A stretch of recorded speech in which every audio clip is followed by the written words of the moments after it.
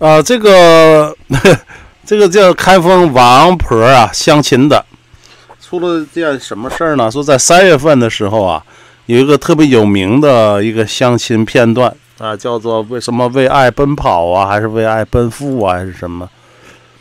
是吧？非常火，就是一个男的和一个女的在王婆说媒的这个舞台上，这个王婆啊是个开封的一个名城市名片了，啊，这你要去哪里旅游啊？你去开封旅游，去看王婆，王婆呢搭个舞台呢，在那舞台上给人相亲。那么在三月份的时候呢，有一个哥们儿在那里相亲，巨火无比，哎呦，大家都。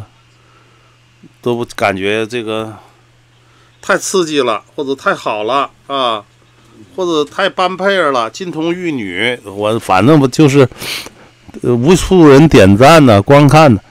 结果呢，这个视频越来越火呢，被这个一个女的呢发现了。她说：“这个去相亲的，这不是我丈夫吗？”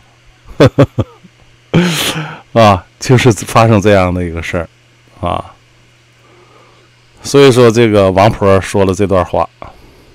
给我弄剧本，有朋友的啊，或者有丈夫的，或者是有妻子的，你们别往那凑热闹，真的是把那个时间呢，把这些啊，真正去我舞台上啊，真正去我那茶馆交朋友。这个王婆说媒，这个说的太太成功了，是吧？全国都闻名了啊。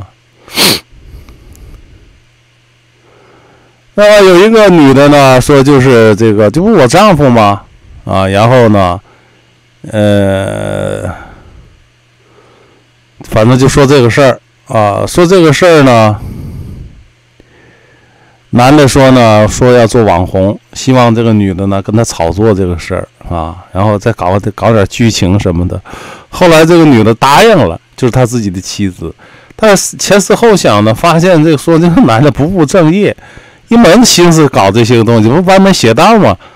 呃，就提出离婚了，真的就离婚了。啊，就是这样的一个故事。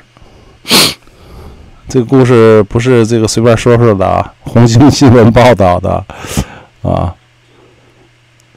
你看，由发现已婚男子相亲，到真的两口子离婚，哈哈哈哈哈哈啊，这个这是哎。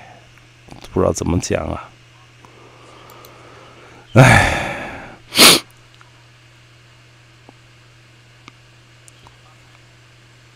哎，无法评论的。